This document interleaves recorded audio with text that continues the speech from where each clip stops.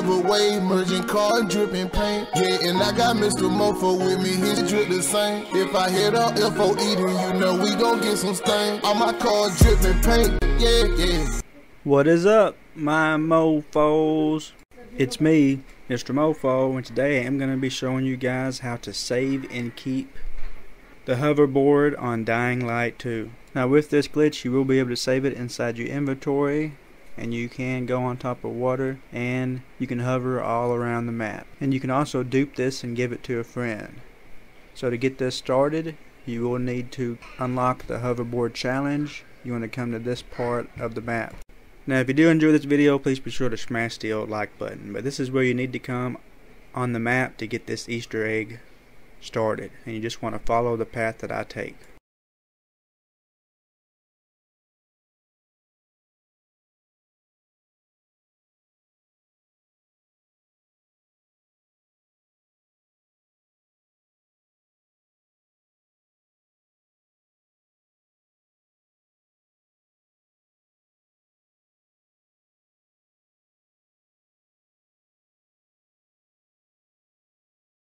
Now I've already done this so mine's already plugged up so I'm just going to take it out and I'm going to start over.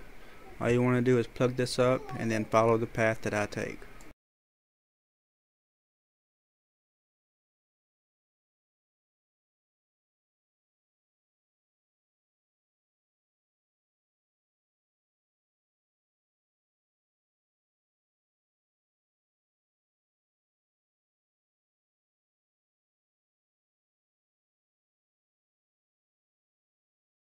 So now we're just going to plug it up here.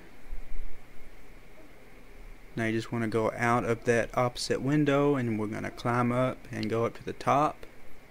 Now you need to activate this radio that's on the table and you will have a cutscene of a guy talking and there will be a safe right here and this is the code and there will be a inhibitor inside for you guys but I just thought that I would add this.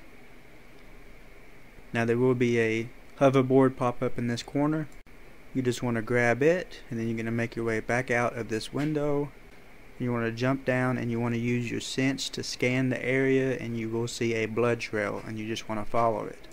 Since I have already done this I do not see the blood trail but you guys should see it. But you just want to follow it and I am going to show you guys the locations to where you need to go. But you can just follow that blood trail. So there will be a another hoverboard on this bridge. And then whenever you get to the back of this car at this location there will be one in the trunk of the car.